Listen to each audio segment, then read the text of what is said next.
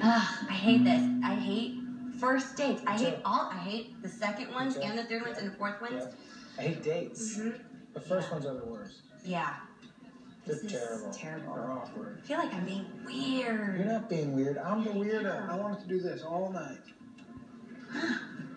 That is so stupid. I hated that I did it. I feel like I'm being weird too. How?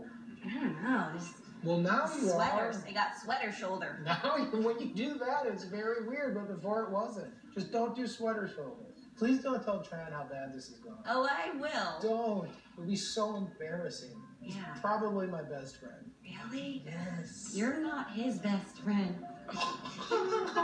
That's a terrible thing to say. That's true. this is going great. Oh God, I hate this. I just want to sit around and do nothing. But that is not hot. That's hot to me. You add some sweatpants to that, and that is better than porn. I love porn, but I like to mute it and come up with my own voices. Like, hey, that's a very interesting mesh catsuit. Thank you. It used to be my grandmother's. Something like that. Cheers. Yeah.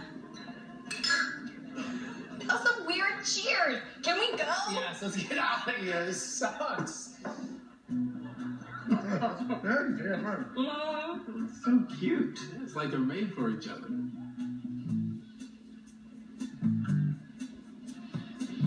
They haven't moved in